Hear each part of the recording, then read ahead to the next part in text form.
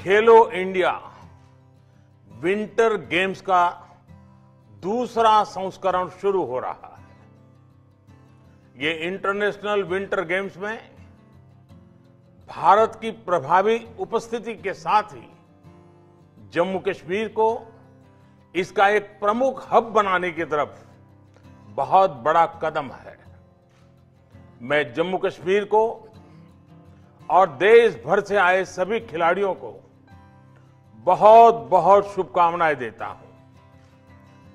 देश के अलग अलग हिस्सों से आए आप सभी खिलाड़ी,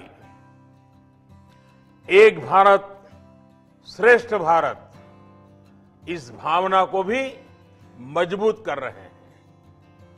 मुझे बताया गया है कि इस बार विंटर गेम्स में हिस्सा लेने वाले राज्यों और केंद्र शासित प्रदेशों की संख्या दो गुनी से भी ज़्यादा हो गई है।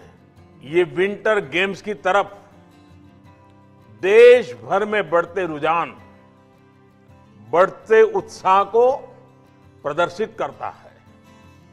पिछली बार जम्मू कश्मीर की टीम ने इनमें बेहतरीन प्रदर्शन किया था।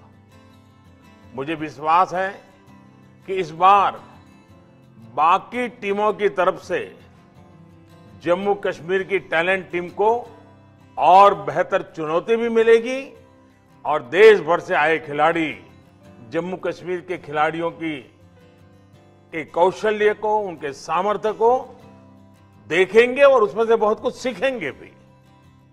मुझे ये भी भरोसा है कि खेलो इंडिया विंटर गेम्स का अनुभव विंटर ओलंपिक्स के पोडियम पर भारत के गौरव को बढ़ाने में बहुत काम आएगा।